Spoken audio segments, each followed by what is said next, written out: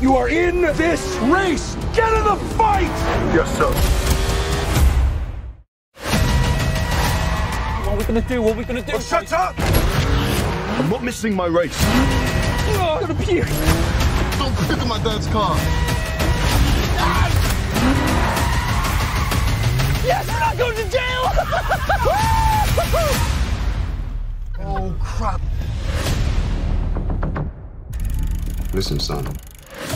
You think you're gonna play a stupid video game about cars and you're gonna become a race car driver? All I ever wanted to do is be a racer. I'm doing it. The ten of you are the best Gran Turismo players in the world. Now is your chance to race real cars. This is insane. It's not gonna work. The guys who race are elite athletes. Your kids are scrawny little gamer kids. That's where you come in. Hmm. You think you can do the impossible. I'm here to prove that you can't. You get tired, you get sloppy, you get sloppy, you get hurt, and you lose races! You puked on my lawn. I know what I'm doing. I'm not afraid. I've raced this track a thousand times in the game. Let me drive it my way. That was actually pretty great. We have a newcomer this year. His presence is shaking the foundation of the sport. Since the major leagues.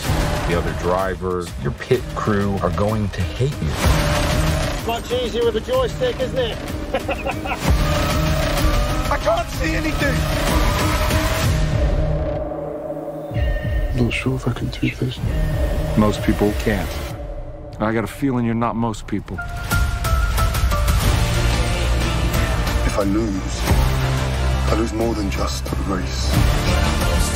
So I'm not gonna quit. You've got to prove to everyone that you belong. You've raced it, what, like a thousand times? Now you just gotta do it in real life. Gran Turismo, based on a true story.